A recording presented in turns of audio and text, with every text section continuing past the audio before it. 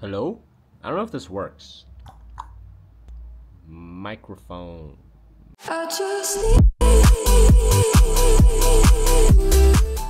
Today is Sunday, July 21st. Hangar show is this Friday. I had a good breakthrough today. I'm about 16 songs in. This is my Ableton right here. There are a bunch of different songs. So this is actually a new one that I'm gonna play during the set. So baby, let it bloom. I can take the pressure, take it off from you.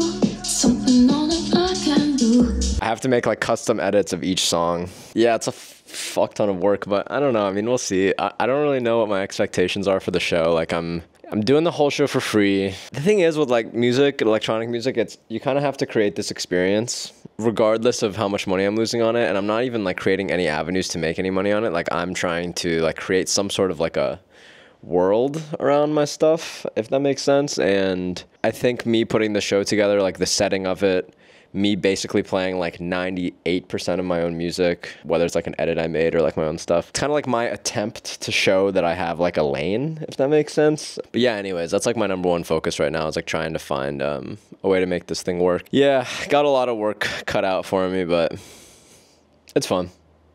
Hello. Whoa, I look crazy. Holy shit. Three days before the show, um, Otto. We're gonna put Otto right here, like with a little ding effect.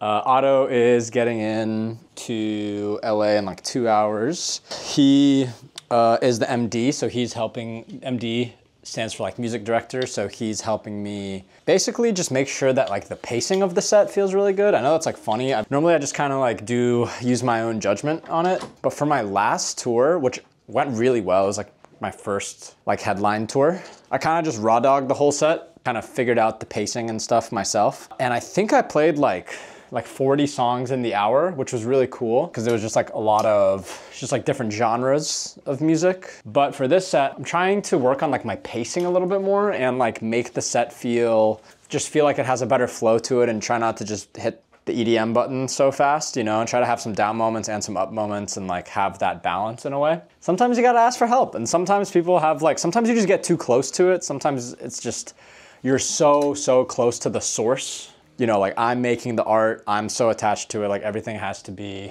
you know, my way or it's incorrect. And sometimes your way like isn't the right way. For example, my biggest song, I just thought it was like a random demo.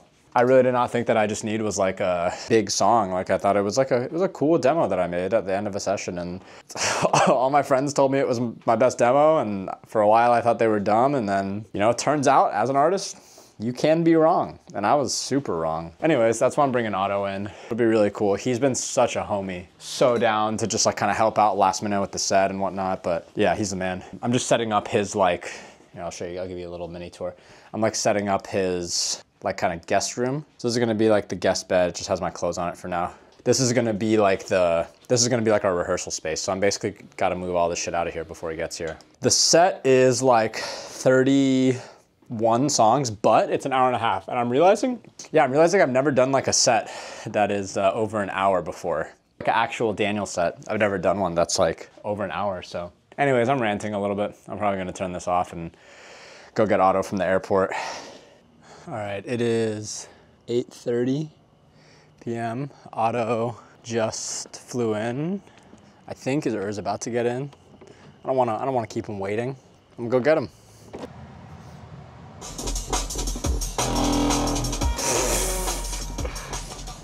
Crazy, crazy way to get in the car. Just have DMB blaring. All right, I'm going to get him. I hope I don't like startle him by having this camera. Um, why am I, why is no one else in this lane? Why is everyone in this lane? Don't mind if I do.